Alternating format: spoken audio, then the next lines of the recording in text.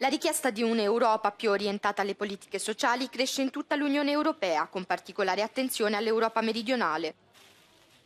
Secondo un sondaggio esclusivo Ipsos commissionato da Euronews, il primo sondaggio di questo tipo condotto in 18 paesi europei, i portoghesi sono i più preoccupati dall'aumento del costo della vita.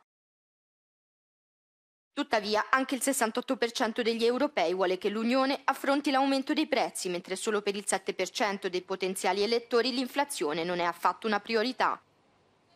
I finlandesi sono i meno preoccupati dal costo della vita.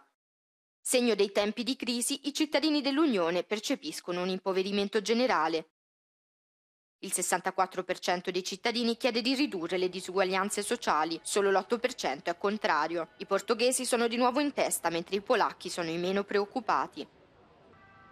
La terza priorità degli elettori è la crescita economica. Il 62% degli intervistati chiede ai deputati dell'Unione misure efficaci per stimolare la crescita economica, mentre la lotta alla disoccupazione viene subito dopo la lotta all'immigrazione clandestina. Gli olandesi sono i meno propensi a qualsiasi forma di intervento dell'Unione per rilanciare l'economia. Le questioni sociali non sono prioritarie solo per gli elettori orientati a sinistra e al centro-sinistra. I moderati, i conservatori, i centristi, i liberali e gli elettori di destra sembrano chiedere un maggiore intervento legislativo dell'Unione in campo sociale ed economico rispetto alle elezioni precedenti. Una maggioranza abbastanza consistente di elettori di destra del gruppo dei conservatori e riformisti europei e dell'estrema destra del gruppo Identità e Democrazia chiede misure contro l'inflazione, mentre per quanto riguarda le disuguaglianze e la protezione sociale gli elettori di sinistra e di centrosinistra sono i più esigenti. La maggioranza degli elettori della grande coalizione chiede una maggiore assertività dei deputati dell'Unione quando si tratta di adottare misure che stimolino la crescita economica.